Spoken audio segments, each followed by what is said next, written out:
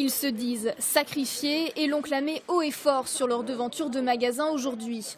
Dans ce centre commercial de Cesson-Sévigné près de Rennes, une dizaine de commerçants s'est mobilisé pour dénoncer la politique du gouvernement. Il y a la TVA qui va augmenter au 1er janvier. Euh, c'est euh, plein d'augmentations de, taxes différentes qui font qu'aujourd'hui c'est un asphyxie total euh, des petites entreprises et des entreprises de proximité. Le RSI, le CET en remplacement de la taxe professionnelle ou encore l'URSSAF.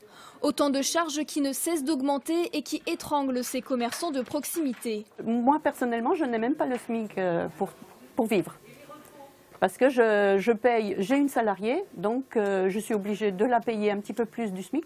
Et elle me coûte euh, un SMIC et demi euh, entre les charges et son salaire. Résultat, les dépôts de bilan sont de plus en plus nombreux. En France, 144 entreprises artisanales disparaissent chaque jour. Regardez le nombre de commerces à l'heure actuelle qui ferment.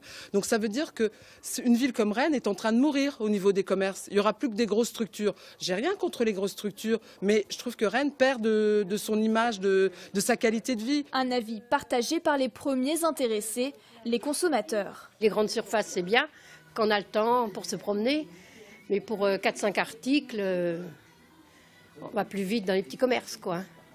C'est ce qui fait vivre la ville. C'est la vie dans la ville. Et c'est l'économie de la ville. Pour faire réagir le gouvernement, les artisans et commerçants ont donc lancé une pétition nationale.